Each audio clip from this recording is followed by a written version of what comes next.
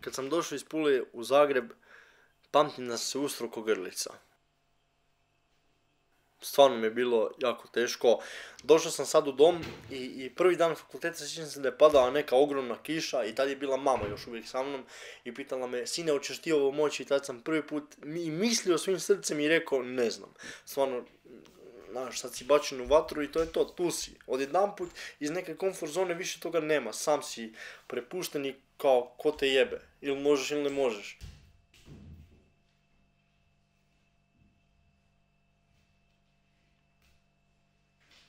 Mlad sam čovjek koji želi uspjeti u novinarstvu i rekao bi da mi je to postao stil života jer jako puno o tome pričam i sa drugim ljudima izvan novinarstva. nebitno u kojem obliku novinarstva, ali volio bi se baviti malim ljudskim pričama. Recimo stvarno nekom u novinarstvu pomoći. Evo, ja sam u studentskim novinama napisao temu o djevojci koja je bolovala od depresije, koja se je htjela oduzeti život i od to sam baš iznio i, i to je ono što me baš u srcu napunilo, jer znam da sam napravio neki mali pomak. Im pisat? Uopće me ne privlači politika, političari i takve stvari. Male ljudske priče, mali ljudi.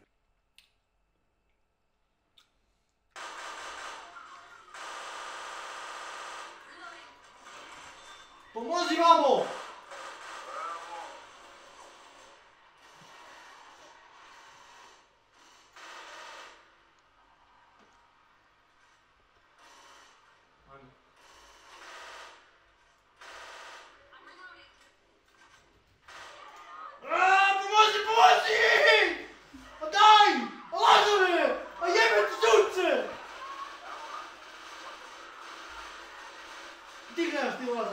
mata-no.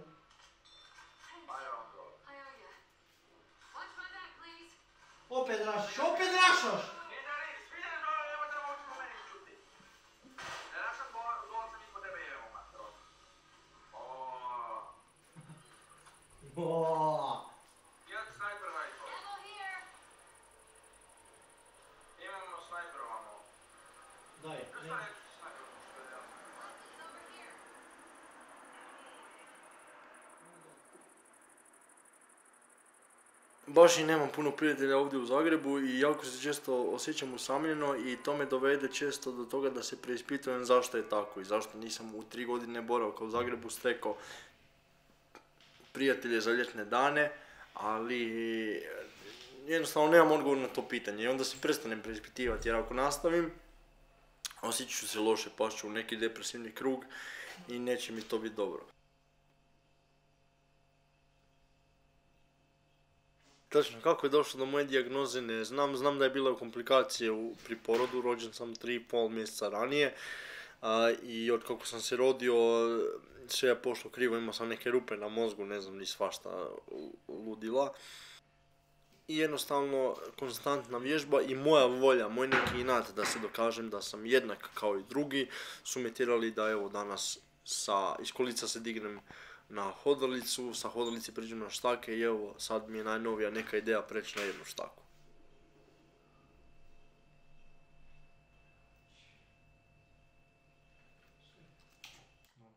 Kad imam, imam neku unutarnju intuiciju da je sad taj trenutak, u trenutku kad ja sebe vizualiziram, kako to bi izgledalo, kako bi ja to izveo. Sve se to odigra u mozgu, a tek se onda odigra u realnosti. E sad se mi, mi to počelo događati. Stvarno to svi misle da je to nemoguće, mada meni su doktori stalno govorili da je nešto nemoguće, pa sam sve to odradio.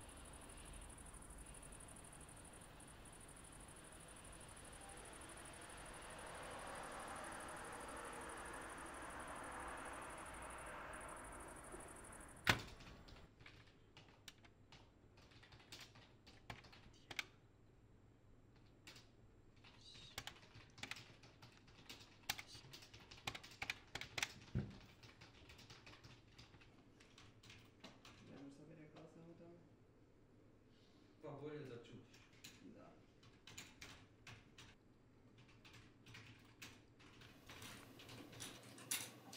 Halo, dobar dan, poštovanje. Pri telefonu je Dominik Janović iz Jutarnjeg lista. Jesam dobio gospođu Zdravku? E, po, poštovanje. E, evo sad me zvao vaš sin i prijavio mi je o, slučaj ove bijesne lisice. Pa me zanima nekoliko detalja ako možete prepričati šta se točno dogodilo. Mhm. Kad sam tek došao u redakciju, a, mm, bilo je to dosta neizvjesno zato što jednostavno kad dođeš imaš štake normalno da, da uredniku nije svejedno jer ne susreću se oni baš puno s invaliditetom tamo. Koliko sam ja shvatio, ali ne želim tvrditi nas sa invaliditetom je samo dvojica. I onda je, on je rekao meni doslovno, ja ne, ne znam šta ti možeš, šta ne možeš. I, i e, kod takvih stvari ti moraš sam donijeti svoju priču i dokazati se.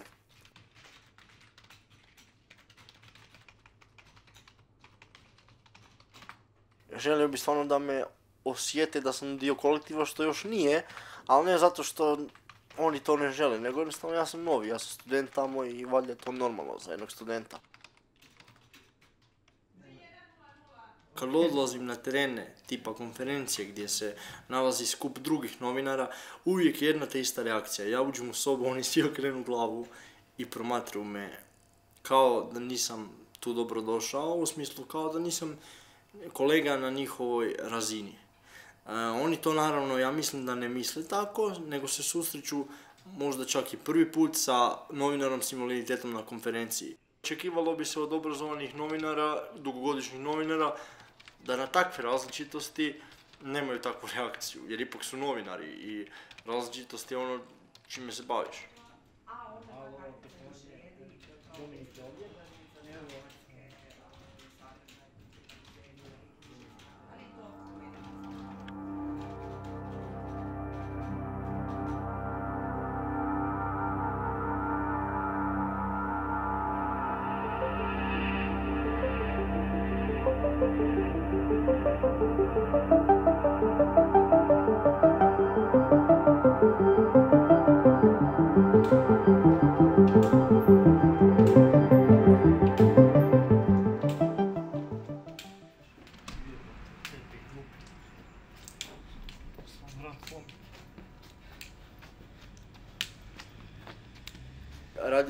Jednoj informativnoj emisiji o politici i trebao sam neke, neku anketu prikupiti od građana. I otišao sam na glavni trg u Zagrebu i doslovno sam sa diktafonom prišao ljudima i pitao, oprostite imate jednu minutu.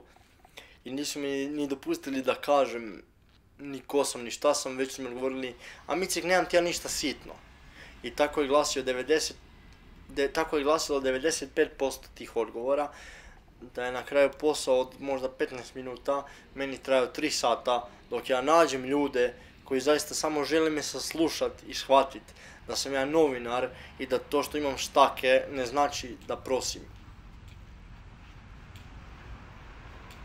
Kako pojasniti drugima šta su meni štake, odnosno da meni štake nisu ništa, dok su njima sve. Doslovno sve. I ne volim tu neku lažno, lažno prihvaćanje. U Hrvatskoj, lažno, u Hrvatskoj prihvaćanje još uvijek ne postoji. Postoji samo na papiru, postoji na nekim humanitarnim emisijicama gdje ćemo se svi nasmijati i nazvat humanitarni broj, ali kad dođemo u praksu i kad se invalid sretne sa, sa sa drugim čovjekom to ne postoji. Zato jer se previše fokusiramo na to hoće li se invalid zvati invalid, kripel, osoba s invaliditetom ovako onako, zato jer se fokusiramo na političku korektnost, a ne fokusiramo se na društvo, na život i na praksu. Umjesto toga, ajmo početi ne pričati o invaliditetu, nego jednostavno živjeti i pokazati život kako mi zaista možemo, a onda neka ljudi koji nas promatraju i sudjeluju u našem životu sami donesu svoje zaključke. Jer nije isto kad ja sjednem i nekome pričam ja sam normalan i dobar i nije isto kad ja sa tim nekim proživim jedan dan i onda on sam skuži aha, on zaista može puno.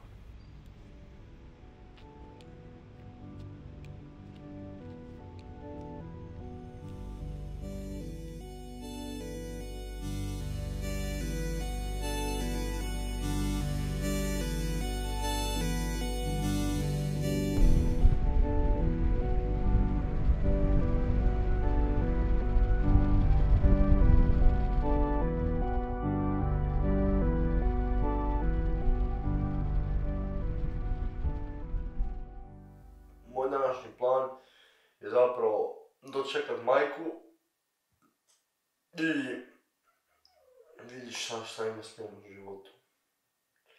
Mislim, s posla malo dočekat da vidim kako šta je, šta je s tim kostima, umire, umire od tih bolova, a ništa ne pazi, niti jede dobro, niti spava, ništa. Ta žena, ja ne znam, ta žena će do 80. mislim da ima 25 jeva.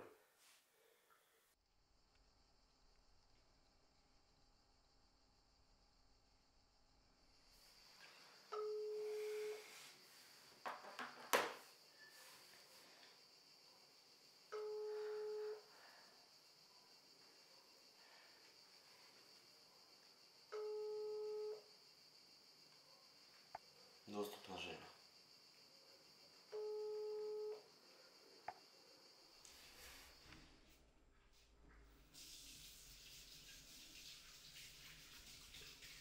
Ono što mene obuzme kad dođem u Pulu je ta neka toplina, zato što jedno čekam vidjeti mamu, stvarno, stvarno volim tu ženu i, i jedno čekam malo pospikat s bratom koji se do- dosta odvojio od mene jer sad ima ženu i svoj neki život. Ono što me stvarno boli još uvijek nisam se s tim pomirio je što sam dosta prijatelja izgubio, a ne znam razlog.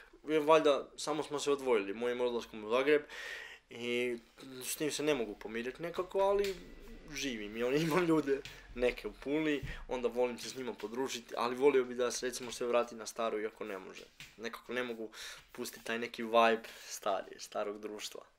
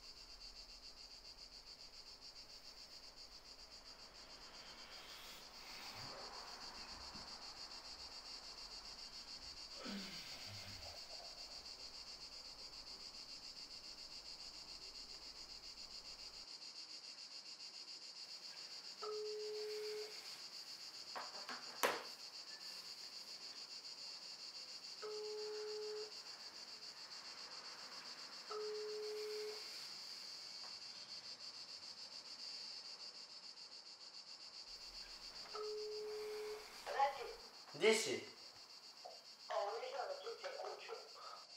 Dobro, jel, o, hoćeš ti doći u tri onda ovdje?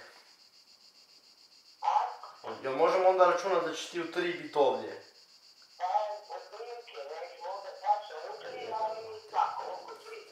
Šta?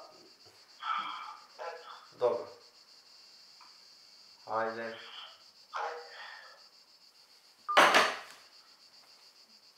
Kurac, i oko tri, i otprilike tri, i tačno u tri, i ovo u tri, i ono u tri, i ispalo mi ovo, iskrsno mi ono, nek ide sve više u pičku materinu, ono.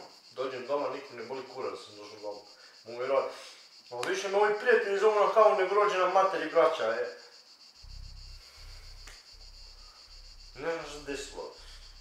S mojom obitelji, jebote. Nikad, nikad, garantiram ti, nikad nije bilo ovako. Ljudi baš me dočekali doma, ono, ne znam, Bog, jesi živ. Sad ništa, jebote. Ko da sam ulje, sad ne...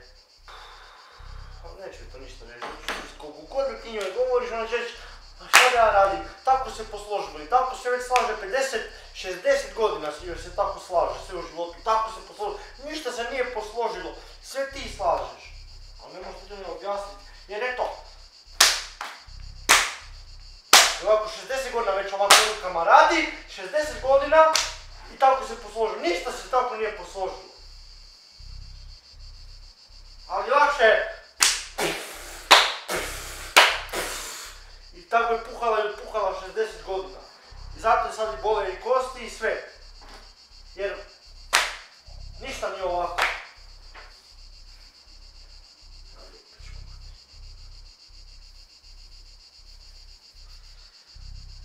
Ona mi kaže nemoj se nervirati. Kako da se ne nerviram?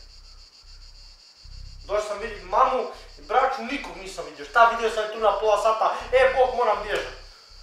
A bježi onda, idi u kurac.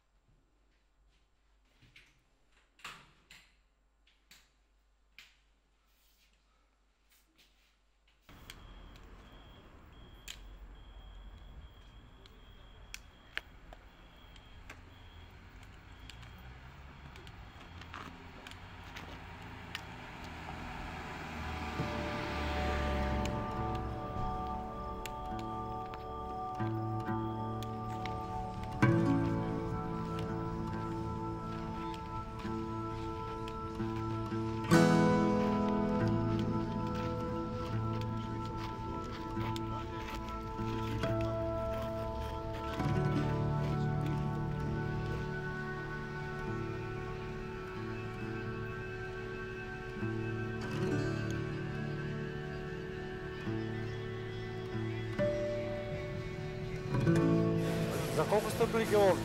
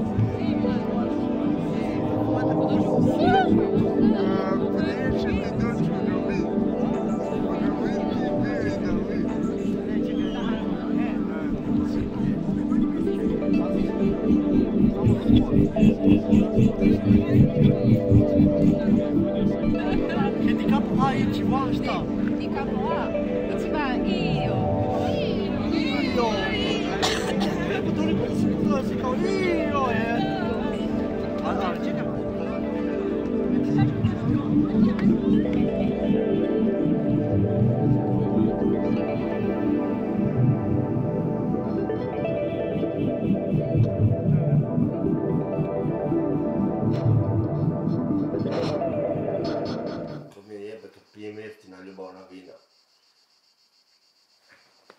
И попиш дие чаша умреш, ево. Да се бар napije, pa da me...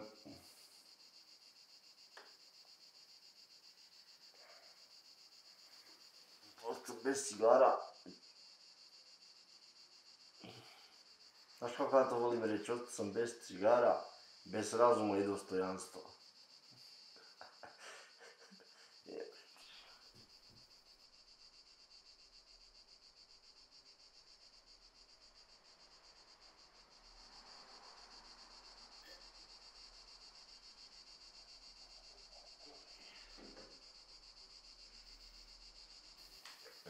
Iskreno ću ti reći da me sinoć, kad sam došao tek ovdje doma, um, fu, fu me stislo nešto oko srca jer sam znao da ću, da ću ovoga, ponedjeljak opet ići u Zagreb, di ih nema. Eto, to, to, to ti dovoljno ovoga, opisao kako sam se osjećao. Baš sam se osjećao predobro. Pogotovo kad sam vidio te sve ljude okolo. I onda sam se, onda sam čak i sjetio iz srednje škole kako je to bilo s puno više euforije, ono, kad smo te krenuli izlaziti. Pogotovo ja, jebi, znaš. Ja sam dugo mislio da ja uopće neću ni moći izlaziti na taj način kao i svi ljudi, to je, još, to je bila još jedna od mojih fik, fiks ideja koje nemaju smisla. Ovoga, tako da osjećam se predobro, stvarno, predobro. Evo.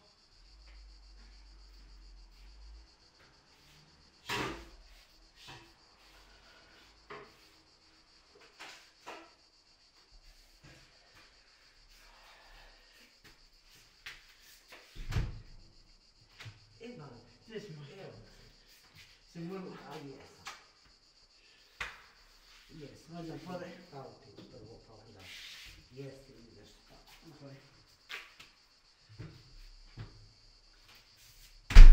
Zadržao se dugo je. Moja mama se zove Aulirija i mi je trebalo dugo vremena da ja uspijem izgovoriti ime svoje mame. Zato je svi zovemo Lila. I poznata je po, po svojim cigarama koje onako baš puši, ono, nenormalno. Ali ne bi minio za ništa i mislim da sam 95% zbog nje ovakav kakav danas jesam. I, I ono što je meni jako dalo snagu kod moje mame je što znam da koliko god da zasedem u životu, nikad neće mi zatvoriti vrata i reći ti si mene razočarao, ti ovo, ti ono. Ona mi je rekla, idi napravi najbolje od sebe što možeš, a ako failaš ti si uvijek moj sin i uvijek si došao nazad. Imam ideju da pređem skroz na jednu štaku, ja vjerujem da je to moguće. A to sam mi rekao, pa ja, ja ne, ne dovjerujem, ja znam da je to moguće. Samo je to bilo pitanje klika u tvojoj glavi, razumiješ? Jer ti si sve uradio u momentu kad si ti osjetio da si zreo za to. I iz kolica si izašao na hodalicu i sa hodalice na štake, a možda malo kasnije nego što su drugi, ali jednostavno ti si nekako, ajmo reći, ziheraš. Znači kad si ti e, osjetio da to možeš, onda si krenuo. Tako i to sa jednom štakom, isto to će, to će zaživjeti kod tebe. I želim, želim postići maksimum od sebe i vjerujem da mogu. ti trebaš.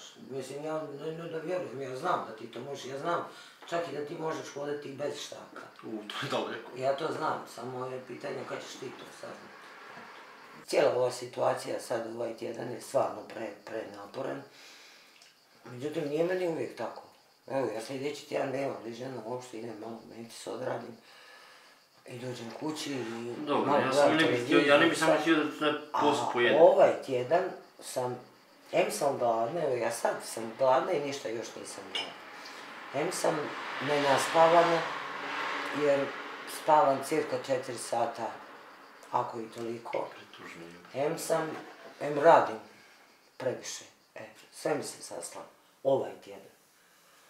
A sad, već sljedeći tjedan je nešto sasvim drugo.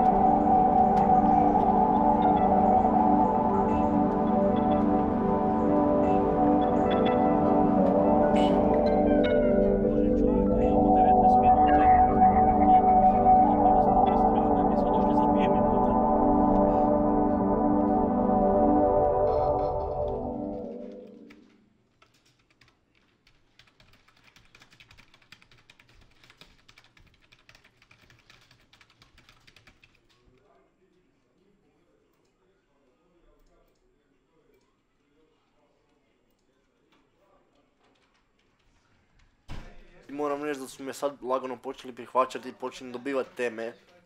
Doduše sve su to još uvijek light teme, ali dobro, laganim koracima kako se kaže. Ali ono što me jako e, hrabri je to što sam počeo e, osjećati kolektiv, odnosno počeo sam dobivati prijatelje, stjecati tamo, ne znam, ljudi me zovu ajde na cigaru, ajde na kavu, naš, ajde na pauzu, tako da za jednog studenta ok.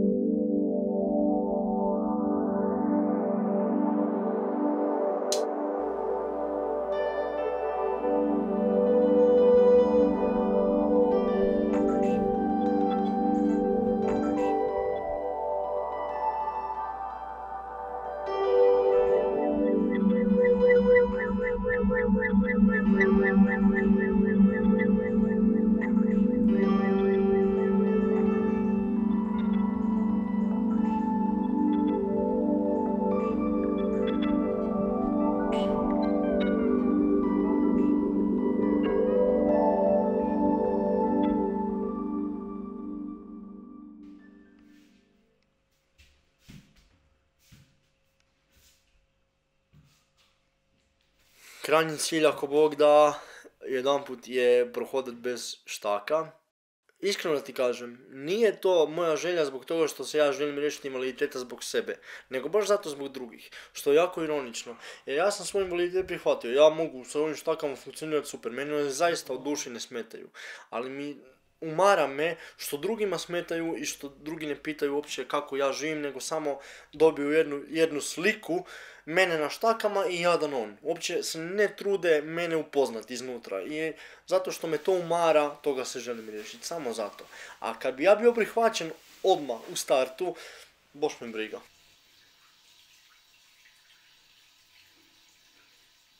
Mislim, nije da te to ne pogodi, ali imaš veliku razliku. Imaš razliku između osoba s invaliditetom koje to pogodi i sruši, ono sjebe, imaš nas koje to uopće ne pogodi nego ideš dalje. E sad, ima jedna caka. Caka ti je ta da se ti vremenom, nakon niza takvih situacija jednostavno umoriš. To nije uopće ni, ni tužno, to je, ja, ja to ne percipiram ni tužno ni sretnim. To je tako. Isto kao što ne znam, čovjek koji nosi naočale, on nosi naočale i to je to. Mora ih nositi isto kao što ja moram nositi sebe.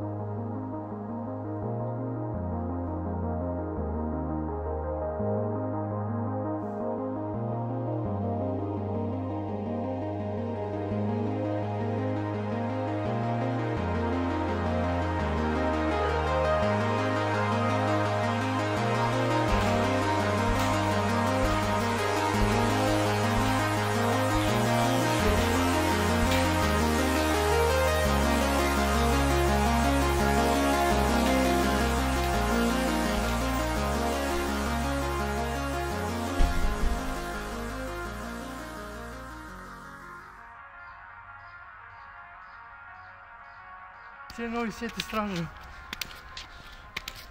S jednom rukom slobodnom, jel? Znaš ono, to je ljudima nepojmljivo, ali ja sad nemam pojma šta da radim s ovom rukom, kužiš. Meni je ona stalno bila u movingu i sad više ne treba. Joj. Sad će, sad će me palit.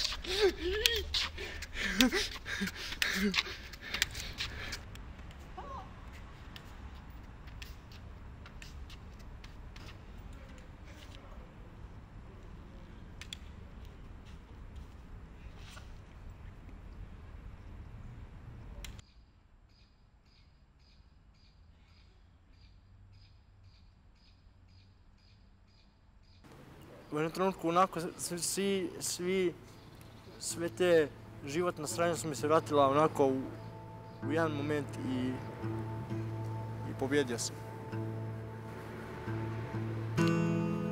Sve onako i, i doktore. Ba, baš, baš sam sretan, evo.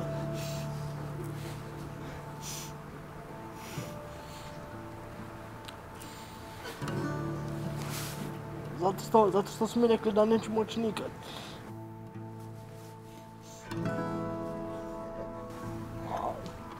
Ali gdje sad?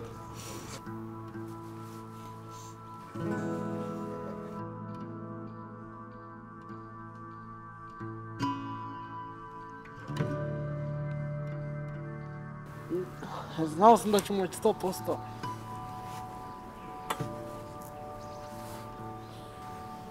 Je dokaz onako svim invalidima svijeta da, da trebaš ići dalje i to je to. Jer ako ne, onda, onda si kurs. onda nećeš nikad jebati. A ja sam sve prejebao. Ne samo žene, nego sve i dijagnoze i doktor, sve.